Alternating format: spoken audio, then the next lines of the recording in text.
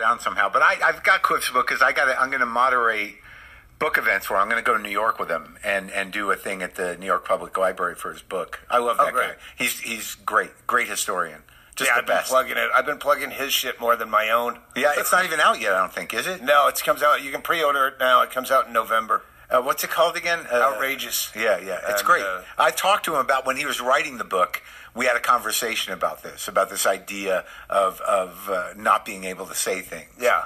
I, I can't. Uh, it, it drives me nuts, and I have a lot of uh, things to say about it. But it,